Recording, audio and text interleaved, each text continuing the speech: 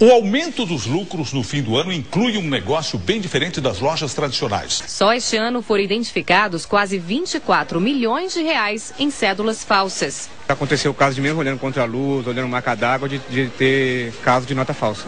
O comerciante tenta se proteger e investe em tecnologia. Esta caneta, por exemplo, é capaz de diferenciar uma nota verdadeira de uma falsa. Ao riscar a nota falsa, uma marca aparece. Na verdadeira, não. Produção acelerada e 60% maior que no ano passado.